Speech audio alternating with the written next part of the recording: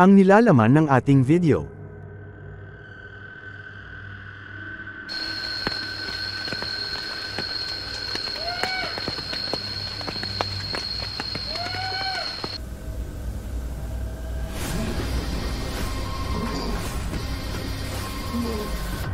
Mula sa mag-amang minumulto, ang babaeng nilalapitan ng mga espirito hanggang sa kakaibang nilalang na kalahating kabayo kalahating babae, naririto ang pitong video na siguradong hindi magpapatulog sa inyo ngayong gabi. Pero bago ang lahat huwag kalimutang mag-subscribe, i-like at pindutin ang notification bell para lagi kang updated sa ating mga bagong video.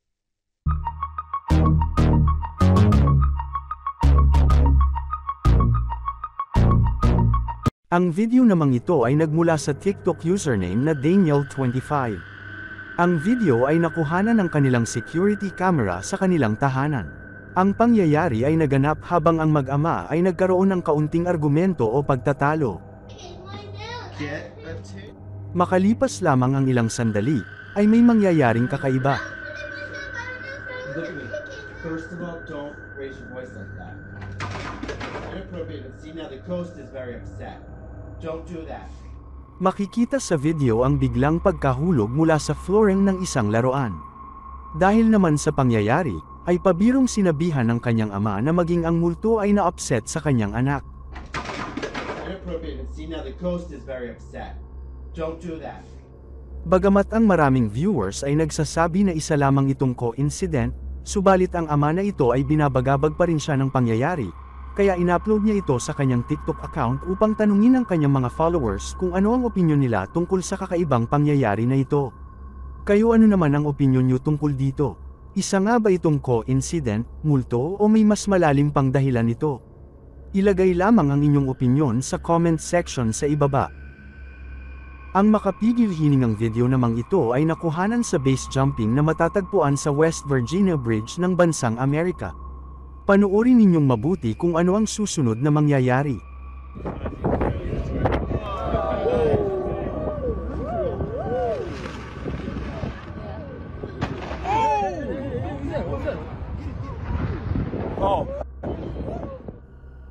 ay nangyari sa West Virginia Bridge Day noong 2022. Makikita sa video ang pagtalon ng base jump ng dalawang katao ng magkasunod. Ang naunang lalaki na tumalon ay nagbukas ng kanyang parachute, subalit dahil sa kasunod lamang niya ang isa pang lalaki na tumalon, ay napunta ito sa ibabaw ng parachute, dahilan upang mabilis silang bumulusok pababa. Subalit sa kabutihan palad naman ay nagawa nilang may manage ang sitwasyon at nakaligtas at walang nasaktan sa insidenteng ito. Panoorin ninyong mabuti ang isa pang anggulo ng video na nakuhanan ng isa pang camera.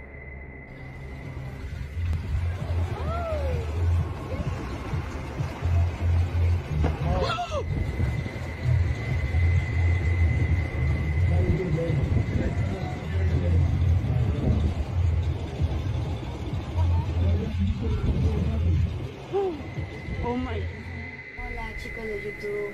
Bueno, soy Luz Clarita y hoy vamos a hacer mi primer video.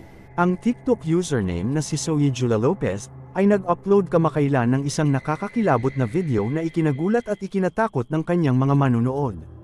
Makikita sa video na habang naglalaro siya ng Ouija board, ay bigla na lamang may misteryosong kababalaghan ang mangyayari. Pinaniniwalaan na nagkikipag-communicate o nagre-respond ang mga espiritu sa kanya habang gumagamit siya ng Ouija board. Azazel, ¿estás aquí? Ayon pa sa kanya, matagal na siyang gumagamit ng Ouija board at matagal na rin na nakikipag-ugnayan sa kanya ang isang espiritu na nagngangalang Cecil. Azazel, ¿estás aquí? Ayon pa sa kanya, ang espiritu ay unang nakipag-ugnayan sa kanya bago pa man na-record ang partikular na video clips na ito.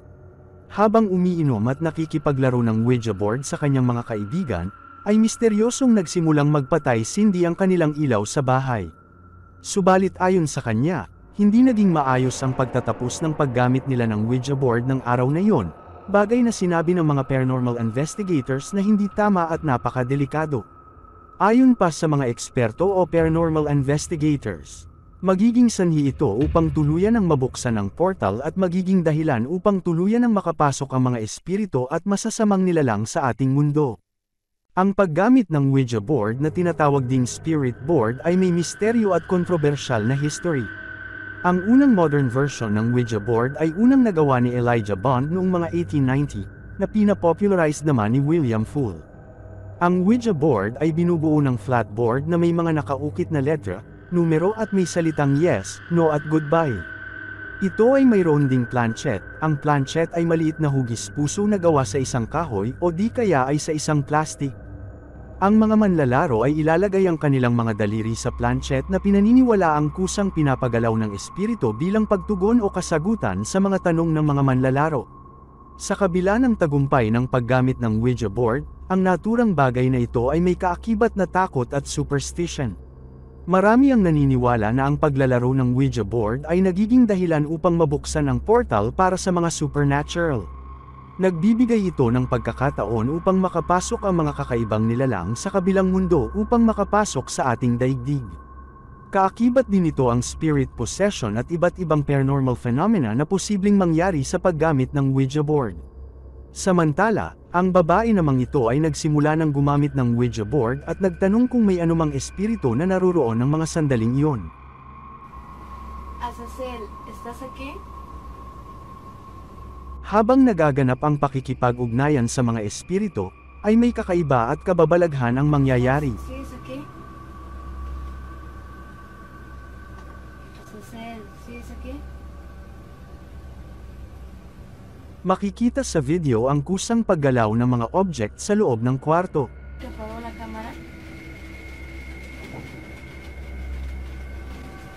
Ang mas nakakakilabot pa sa pangyayari, ang glass na ginagamit niya bilang planchet sa Ouija board ay kusang nag-slips out sa kanyang kamay.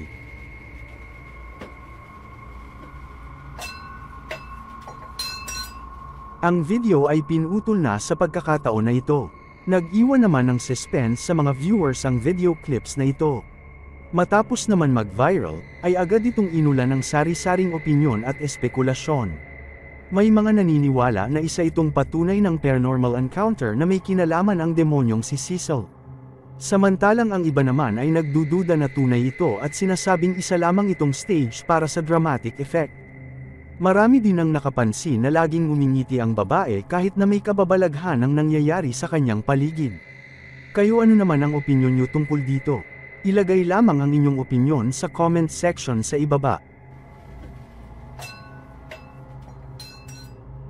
Ang YouTube channel na Witch Hunter ay sinasabing buhat ng lumipat siya ng bagong bahay, ay hindi na ito natahimik dahil sa panggugulo ng masamang nilalang o espiritu na gumagambala sa kanya halos araw-araw lalo na sa gabi. Palagi siyang nakakarinig ng misteryosong boses, mga kagamitan na kusa na lamang nahuhulog nang wala namang gumagalaw dito. Isang gabi naman ay nagising na lamang siyang may mga marka sa kanyang katawan. Dahil dito ay nagsagawa siya ng mga ritual na iminungkahi sa kanya ng kanyang mga kaibigan upang mapaalis ang mga masasamang espiritu sa kanyang tahanan.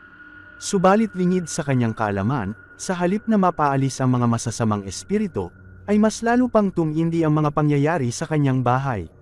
Panoorin ninyo ang ilang mga video clips ng mga kababalaghan sa loob ng kanyang tahanan.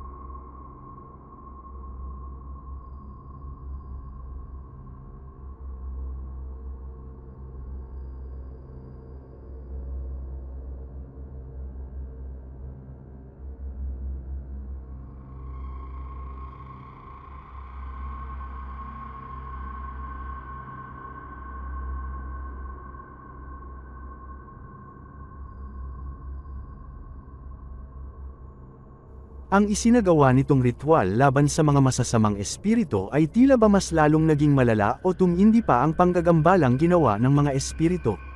Ang mga shells at iba pang gamit sa bahay ay kusang nagsisigalawan na tila ba parang sa horror movie lamang napapanood. Ang pangyayari ay nasaksihan mismo ng kanyang dalawang mga mata at nai-record ng camera. Hinihinala ng mga viewers na may mali sa ginawa nitong ritual kaya naman mas lalong nagalit ang mga nilalang sa kanya. Sa kanyang pagpapatuloy na pagsisiyasat at pagre-research kung papaano mapapalayas ang mga masasamang espiritu sa kanyang tahanan. Dito ay nadiskubre niya na ang masamang nilalang na nasa loob ng kanyang bahay ay isang makapangyarihang demonyo at ito ay may pangalan na Valok. Dahil sa kagustuhan niyang mapaalis ang inaakala niyang masasamang espiritu sa kanyang bahay. Ang demonyo ay nainsulto sa isinagawa niyang ritual sa pamamagitan ng paggamit ng mga bagay laban sa mga multo lamang. Makalipas lamang ang ilang araw, ay mas lalong tumitindi ang mga kaganapan. Panoorin ninyong mabuti.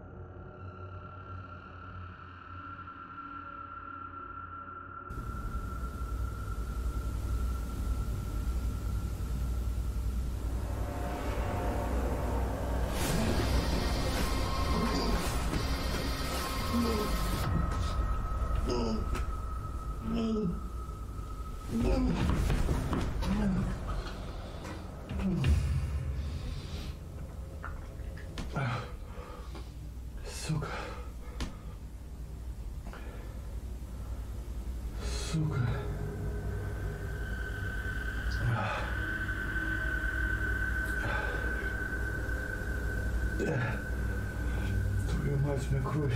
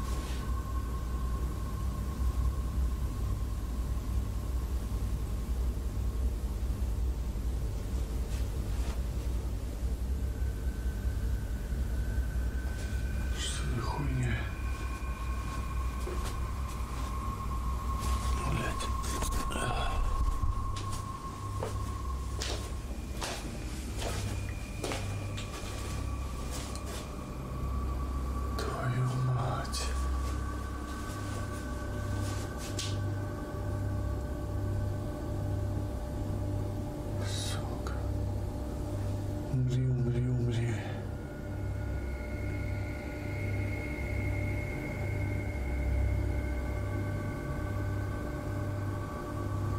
Я думаю, надо валить из этой квартиры. Makikita sa video ang misteryosong paglitaw at nakasulat sa salamin ng salitang Dai. Habang natutulog naman, ay bigla na lamang naramdaman nito na may sumasakal sa kanyang hindi nakikitang nilalang kaya naman agad niya itong nilabanan upang makabangon. Tila ba ang demonyo ay gusto siyang saktan at gawa ng masamang balak. Isang araw naman, ay sinubukan niyang makipag-ugnayan sa demonyo na gumagambala sa kanya. Panoorin ninyong mabuti ang susunod na mangyayari. Если ты здесь, ты можешь дать мне знак. Выйди на контакт с помощью доски Уиджи.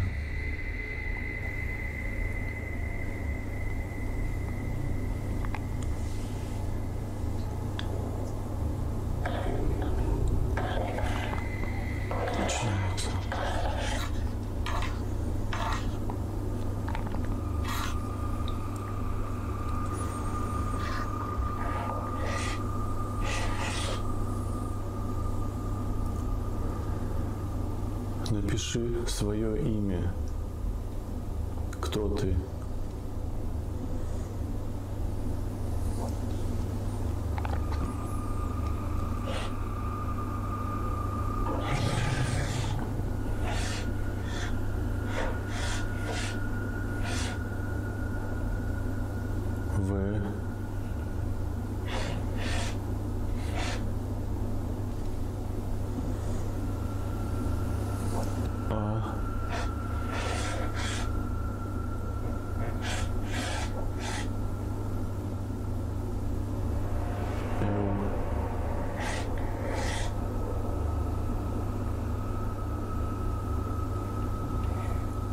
О.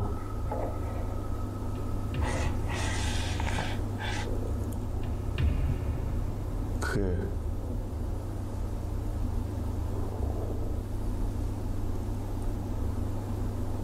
Ты Валок?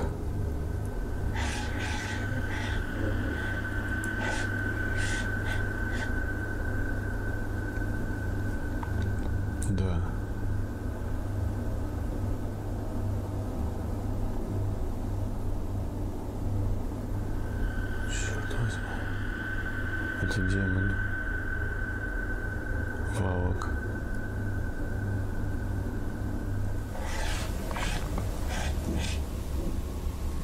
Что это значит, Валок?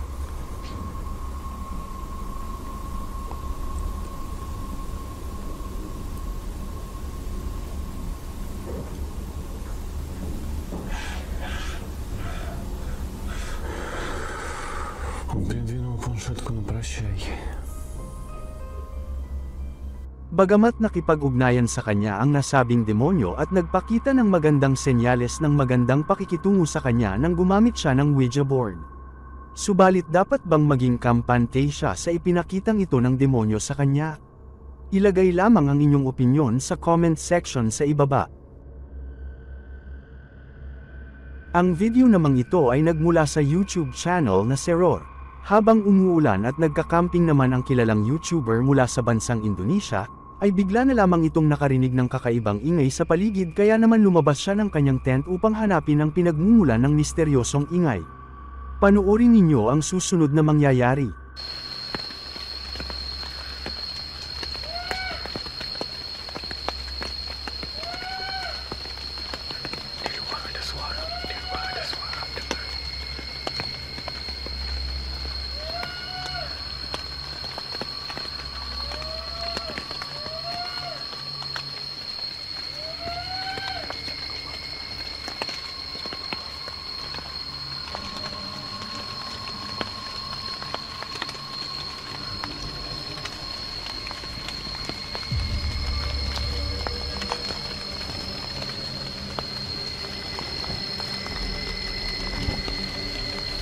Astagfirullahaladzim.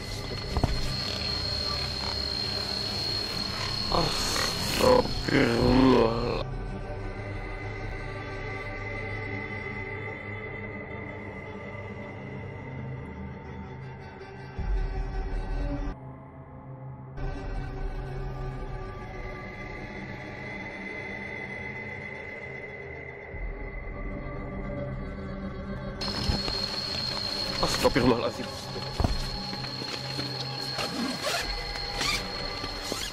Makikita sa video ang isang aswang o multo na pokang na nakatayo sa di kalayuan sa tent na kanyang tinutulugan. Ang nasabing kagubatan ay napapaligiran ng mga lumang libingan. Kaya naman hinihinalang doon nang galing ang aswang o multo na pokang. Agad naman pumasok ang YouTuber sa loob ng kampang dala ng matinding takot at pagkagulat sa nasabing nilalang.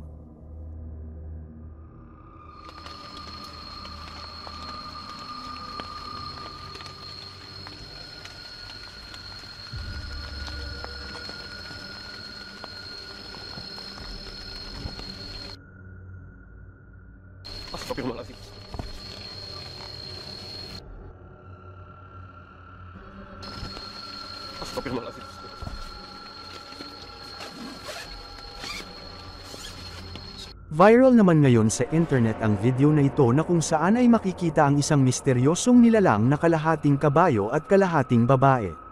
Makikita rin na may dalawang tao na tila ba sinusuri ang nasabing nilalang. Pagmasdan ninyong mabuti.